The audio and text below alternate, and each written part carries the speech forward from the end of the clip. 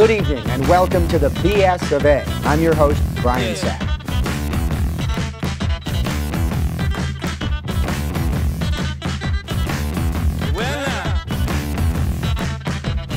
Welcome to Rush to Judgment, the show that, how do you think it's going so far? The best one ever wrong. Too much too soon. All clear for POTUS. You want to see my photo? No, no, no, no, no, no, no. Can I kidnap you and you marry my son when he is old enough? Now for the Republican response, we turn to this seven-month-old baby.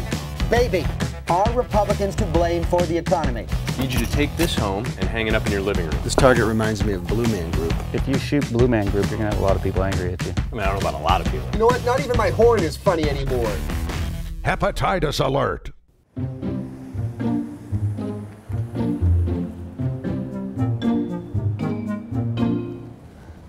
I'm sorry, I'm looking for a taxi. I am a taxi, a libertarian taxi. Where to? 48th and 2nd, please. You betcha. And where on earth would that be? Seriously, that's like basic level taxi stuff. You have to know where that is. Well, testing creates barriers to entry. Like I need the government telling me which streets I need to know. Okay, but as a customer, I need you to know where you're going. Oh, absolutely. And then I will lose business to people who know how to drive better than me. Yep, but that hurts you. Yeah, exactly. That's the beauty of the free market system. The best and brightest rise to the top. All right, just go up 10th to 48th and then take a right. You don't have to buckle your seatbelt, by the way. Your choice. Great. Should I assume you're going to follow the traffic laws? Grudgingly.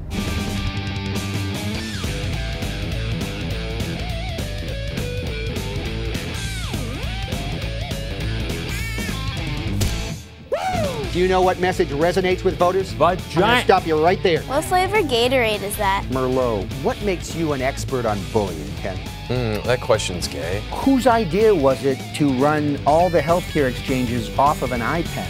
That's a Bosco idea. Bosco? He's a Croatian dude we found on Craigslist. I'm joined today by three experts to discuss the issues of the day that are of interest to me. Well, the game is afoot, isn't it, Brian? Chancellor Adolf Hitler, how do you feel about breastfeeding? Well, that's weird. Uh, Rachel Maddow and Alex Jones are in love. This seems like as good a time as any to announce that I've kidnapped the son of Ronald McDonald.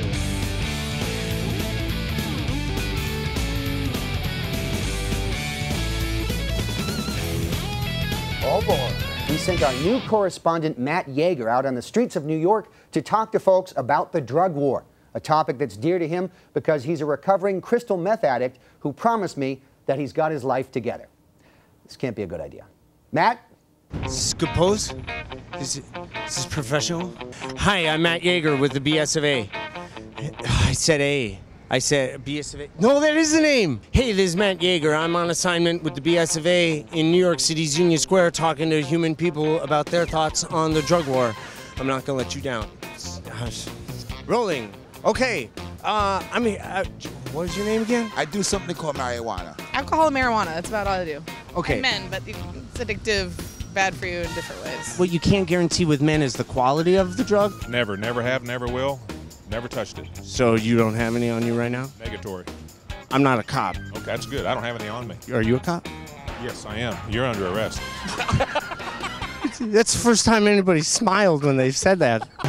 What family member would you fight in the Thunderdome that you knew you could defeat for food? I always go for grandma because they're the weakest. If these scandals got out of hand and the president wound up in prison, what do you think his prison experience would be? I think he would trade nuclear codes for cigarettes? Do you think Michelle would bake him a cake, but instead of a nail file, it would be a teleprompter? I was inspired by Anthony Weiner. He's like the Rosa Parks of perverts, you know? I'm an extreme sex addict, and I'm running for mayor. How much cocaine do you think I could traffic inside my body across the border?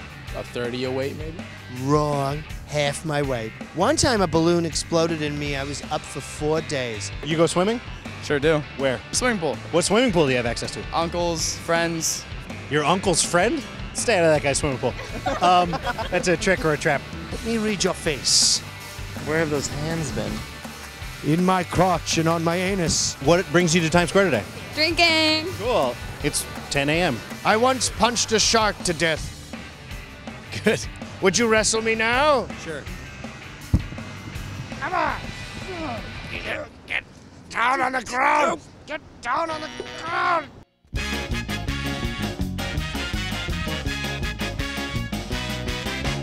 How was that wedding you listened in on? bad reception. Oh, you gonna eat them peas? You can just try to find something plaid to hide behind. Tear down this pie. Will you accept this shack? Ignition override pending breathalyzer. Oh, come on. Chevy Bloomberg. This is labia. Libya, sir. No, no, it's a lady. Your son has tested positive for liberal. You made $200 million in Christmas bonuses? You should get in the bank and it's great. This is Pepito, my new friend, the anchor baby. I reckon someone here's gonna have to kill me. Welcome to the BS of A Season 2 premiere. I'm Brian Sack, and now, this week's BS. President Obama told a group of. Uh, okay, why are, they, why are they rolling the credits? Because you blew through like 30 minutes getting the gang back together? That's one episode closer to our inevitable death, gang. Good job. But I have jokes. Hope they're not topical jokes. Uh, they're very topical jokes. This is the season when we're gonna start doing topical jokes. Forget it. There's porn sites on my computer at home that aren't gonna surf themselves. Can I at least tell one joke? You can try. All right. Come on!